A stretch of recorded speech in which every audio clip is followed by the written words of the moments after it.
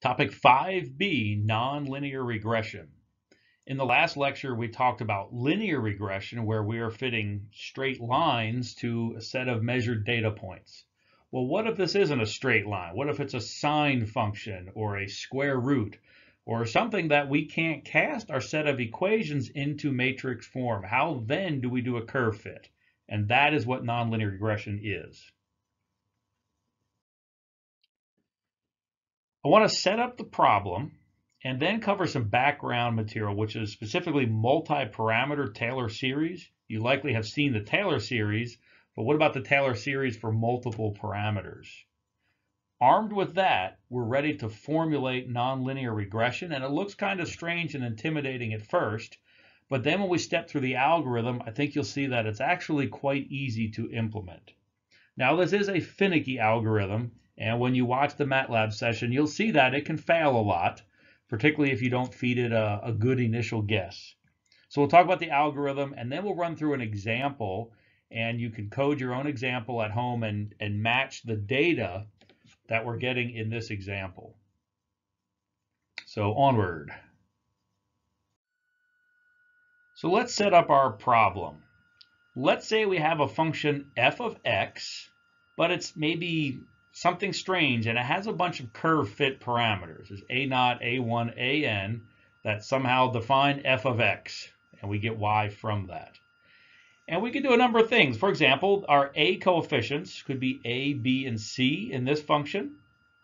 Over here, our a coefficients would be also a, b, and c.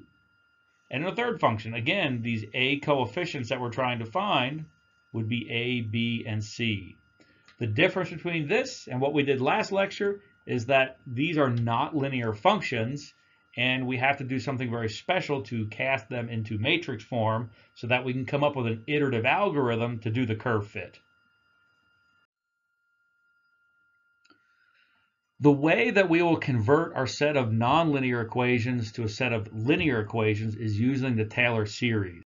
However, since we have multiple parameters, we need to learn how to do the Taylor series with multiple parameters. Man, there's a lot of detail we could go into here, but we're going to drop all the higher order terms and not go so far into the, the depth of Taylor series. So uh, up front here, we have a one parameter, a single parameter Taylor series. This is probably something that you've seen in your background. And it's a way of approximating f with a series of terms. And we choose another term that I put the little tilde over top. And that's the term that we are writing our Taylor series about. We're estimating at a value of f, but we're using information at a value of x tilde. And so then we have the, the, the first order term, second order term, third order term, and so on. And there's an infinite number of terms. We can generalize this to two parameters. It has the same basic form where we have our function, we have our first order terms, we'll have our second order terms, and that would go on and on and on. And it gets uh, quite crazy. But it turns out for us, we're going to drop all of the higher order terms and only retain those first order terms. At this point, we can generalize to an n parameter Taylor series. So we want some way to estimate a function of multiple variables so that equals a function written about specific numbers that we'll be able to put numbers to, plus these terms that we'll be doing our approximation. And you'll notice these difference terms I have lumped into delta x. And delta x is simply the difference between one of our unknowns and the value that we're doing our Taylor series about. We're going to use this to convert our nonlinear functions into linear functions. So on to the formulation. And just to warn you again, the, the equations here seem rather complicated and intimidating, but when I step you through the implementation, I think you'll see that this simplifies down to something quite palatable.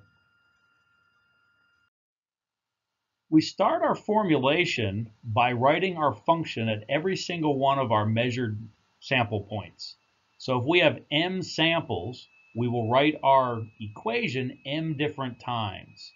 We're also going to include these residual terms to remind us that these these equations without this are not exact. There's, there's error here. The other thing we'll do, uh, that's a little bit of shorthand, rather than keep writing explicitly these curve fit parameters in our function, we just won't write them. And we'll write this in a much more compact notation here. But all that is, is our set of equations with our function written at each one of our sample points.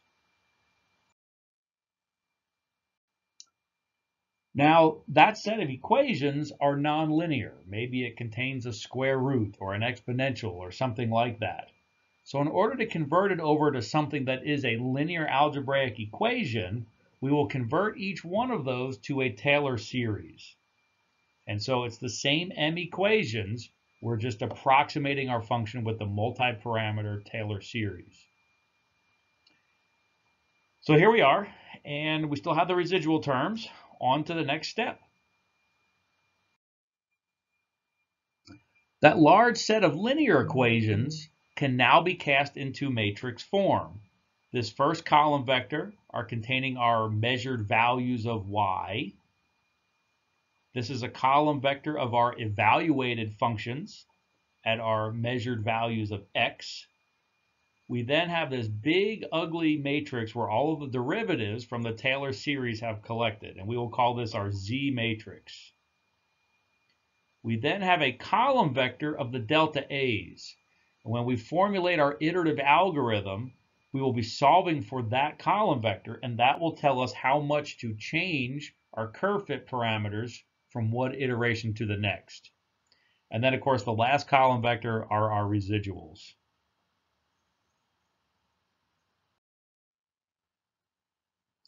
At this point, we won't keep writing that big ugly matrix, although sometimes we'll expand on Z, and we end up here. That is the equation from the last slide. Now, since we're developing an iterative algorithm, we can drop these residual terms because we will iteratively improve on our solution. So we drop that for now. The next step is we'll bring this column vector of our function evaluations, we'll bring that over to the left-hand side. And notice now these are our measured values minus our evaluated values. This is really telling us the error in our measurements. And so we'll call that D, and that's really an error term.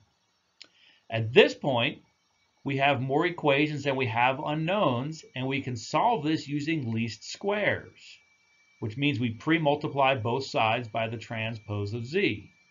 And then we, we're solving for this delta A column vector telling us how much we will change our curve fit parameters from one iteration to the next. And here's our solution in the sense of least squares.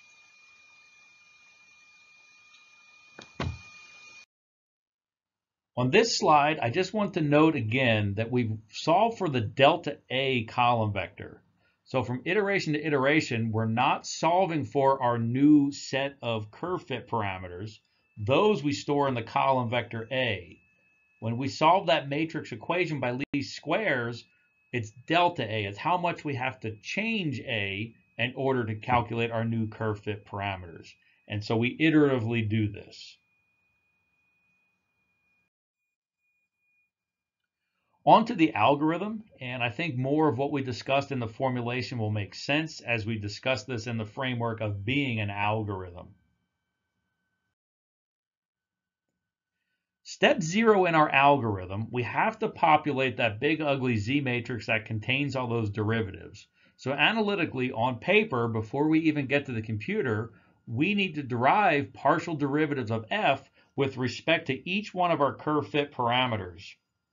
So in this case, that's going to be a naught, a1, all the way up to an. However many of those we have, we have to evaluate that many analytical derivatives.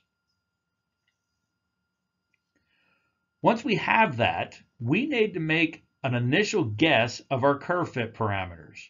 Now this iterative algorithm is very touchy to our initial guess, and the more we can do to make an intelligent guess, the better. When we get to the example of a Gaussian, I can show you one way to make an intelligent guess. And hopefully you know something about the function you're fitting to to help you make that intelligent guess. Otherwise, you'll just have to try a bunch of different things and keep rerunning your code until it does converge. when we get to the MATLAB sessions, you will see how finicky this algorithm can be.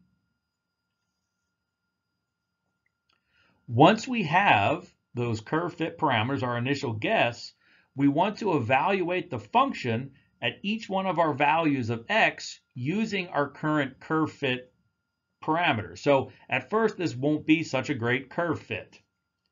And by the way, I'm using a notation on this slide that you may or may not have seen. I'm writing these column vectors as row vectors, but then I write a little transpose operation. This is not implying that we actually want to take the transpose. This is just a shorthand notation that lets us write a column vector horizontally across the screen. Mm-hmm. Once we have evaluated our function at each one of our point x using our curve fit parameters, we can now calculate that error term D, and that will be the difference between our measured values and our evaluated values. So in MATLAB, this is just one line of code.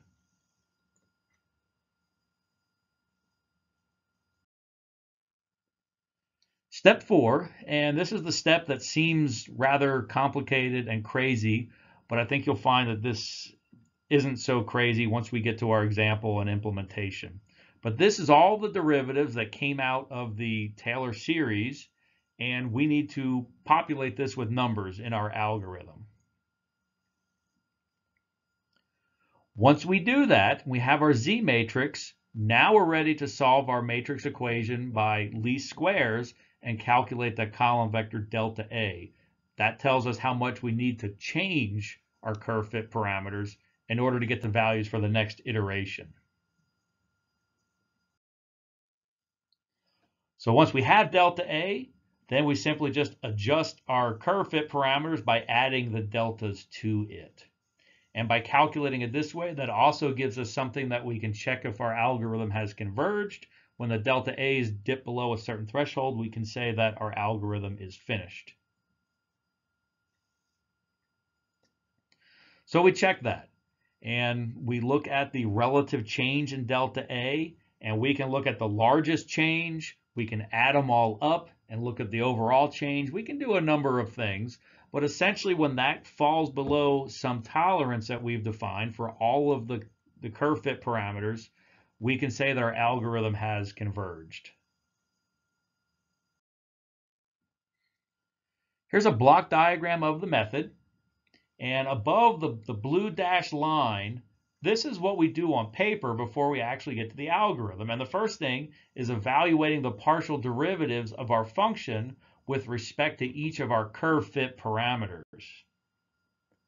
Then the first thing in our algorithm is to make an intelligent guess for our curve fit parameters. And the more you know about the physics of what you're fitting to or the function that you're fitting to, the better job you can do. All right, next step, evaluate the function at each one of our values of x, given the curve fit parameters we just made an initial guess for.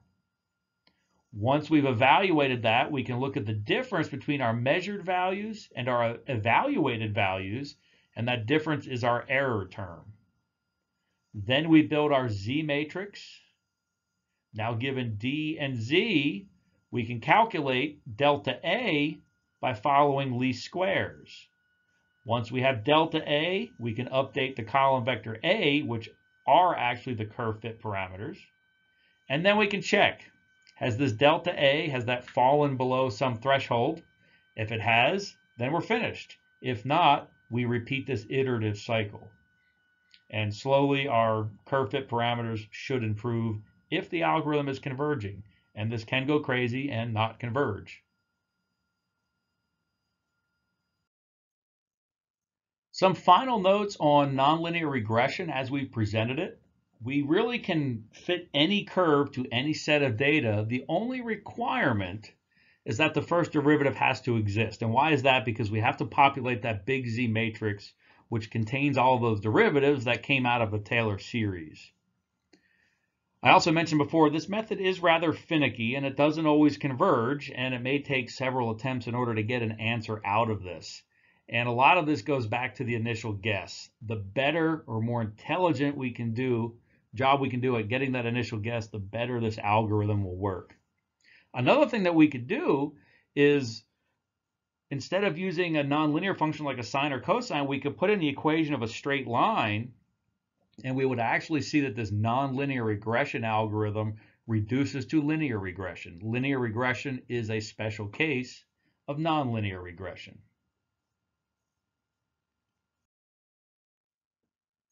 Well, there's nothing better than an example to see how all of this comes together. And in this example, I'm also providing actual numbers. So if you implement this in MATLAB, you can compare back to this to see if you're getting the right answers. So what we'll do is we'll fit a bunch of, of measurements to a Gaussian. Along the bottom, those are the actual points, x and f, and I've plotted them. And it's a smattering of points. And we want to fit this to the Gaussian function that I'm showing in the upper left. And if we look at our data, eh, we can kind of see that there's a Gaussian happening here. But obviously this data is quite noisy. So that's the setup of our problem. The first thing we'll need to do is identify all of the unknown parameters. What, what parameters are we using for the curve fit?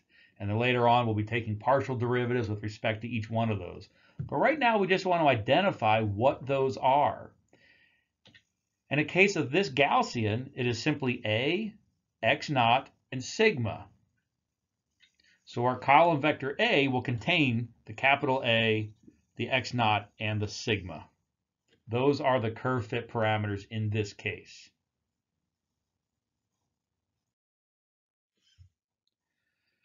Now we need, we're not even in the code yet, we need to derive expressions for the derivatives to populate our Z matrix. So if we look at the first column, we can see that we're always taking the partial derivative with respect to capital A. It's just that we evaluate it at different points, x1, x2, all the way up to xm. So we just need to take the partial derivative of f with respect to a, and when we do that, we get our original Gaussian back divided by a. So it's just our original function divided by a.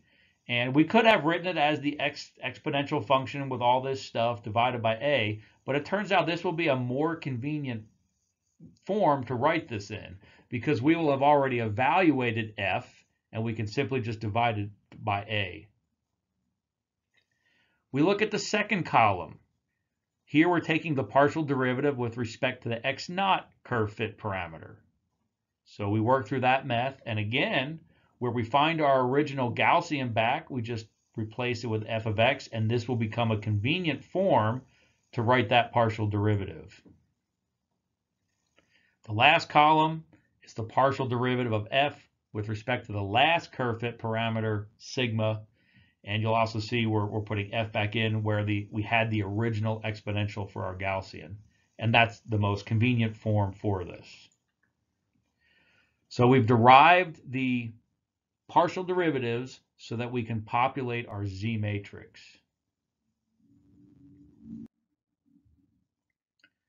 So putting those answers into the Z matrix, we have this. And this looks rather intimidating and difficult. And it turns out the MATLAB code to do this will be quite simple. And we're going to write this in a slightly different form. We have this bolded x. This bolded x will be a column vector of our measured values of x. So if we apply our function to that column vector, we'll get another column vector, which is our evaluated function. This is something we'll have calculated in a previous step. So to get the entire first column of our Z matrix, we'll just take this column vector and divide by A. Likewise over here, we'll take that column vector, we'll calculate this and do a point-by-point -point multiplication and get a new column in our Z matrix. And very similar thing here, just slightly different math in this term on this side. And that will let us do this in MATLAB very simply, as you'll see in a minute.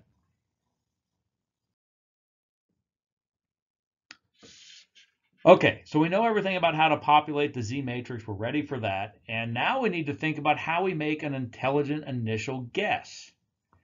Well, we know ahead of time that we're fitting to a Gaussian. And so we can look at our samples and maybe look at the maximum value from that and say, you know what, that's probably a good first guess for that amplitude term A.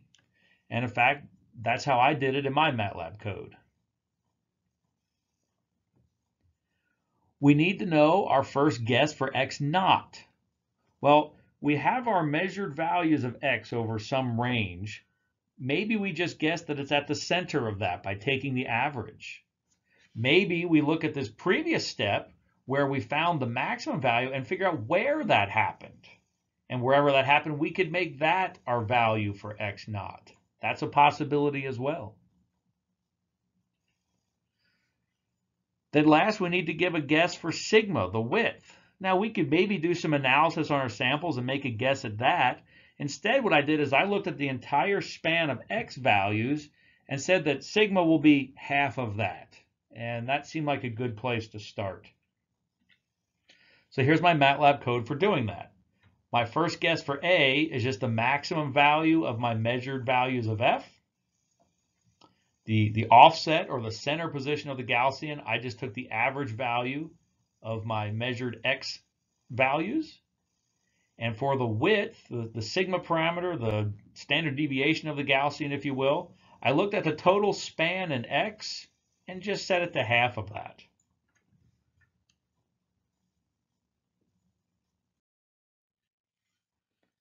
Now we enter the main loop. Step A, or the first thing we do in our main loop, is evaluate the function at all of our values of x using our current curve fit parameters, so A, x naught, and sigma. So we can do this with just one line of code in MATLAB because A, x naught, and x, s, sorry, is just single numbers. xm is a column vector of all of our different values of x, so f comes out being a column vector of our function evaluated at each, each value in that column vector xm. So running over 10 iterations, here's what the function value looks like for each of those iterations. So our first iteration is the first column, second iteration is the second column, third, fourth, and, and so on. So one line of code to evaluate the function at each value of x. Now that we know that value of x, that's stored in column vector f, and an input to our algorithm are the measured values of, of f, if you will. We're calling those y, and the difference between those is our error. And so we look at that, we calculate our error function. It's the difference between our measured values and our current fit. And at the bottom, I'm showing values in that column vector D for every iteration in the loop, up to 10 iterations.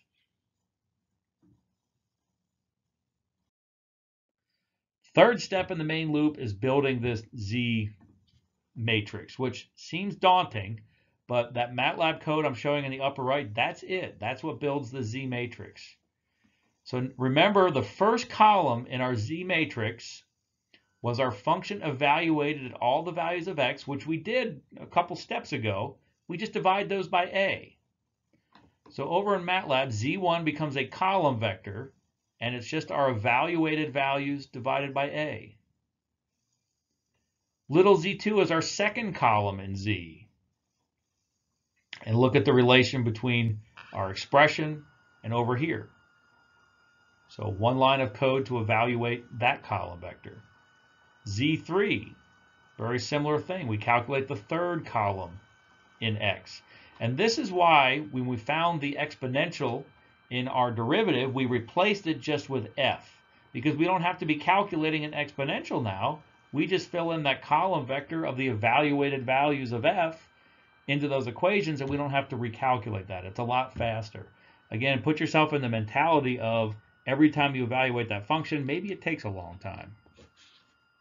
So once we calculate those three column vectors, we stick it into Z and get our big matrix Z. So here's what Z looks like on the first iteration. Not enough room to show all the iterations, but here's what Z looks like at the 10th iteration.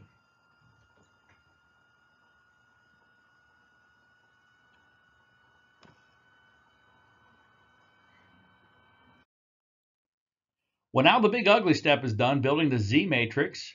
We have D, our error column vector, and our square matrix Z. Sorry, that's not square. It's actually a rectangular matrix. And we need to solve this in the sense of least squares to get the delta A column vector. That tells us how much to change our curve fit parameters. So solving by least squares, just one simple line of MATLAB code, and it gives us a column vector of how much to change the curve fit parameters by to get to the next iteration.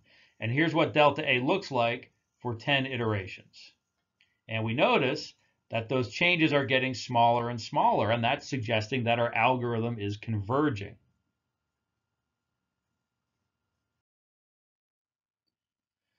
Once we know delta A, we can update our value of A simply by adding the delta A to A.